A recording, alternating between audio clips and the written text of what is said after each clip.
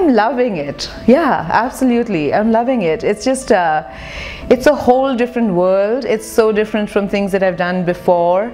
Um, it's great. I, I would be lying if I said it's not great to actually hold this book and see my name on it and get that thrill of like, oh my goodness, I actually have something that's going to live beyond me in this world, sort of, you know. Um, and also, to think of myself then as a storyteller, as someone that now is going to tell another story. Um, that's lovely. And because I've you know, I've always been intimidated by authors and I've always admired them. To know that I now belong in that aspiration group of mine is just absolutely lovely.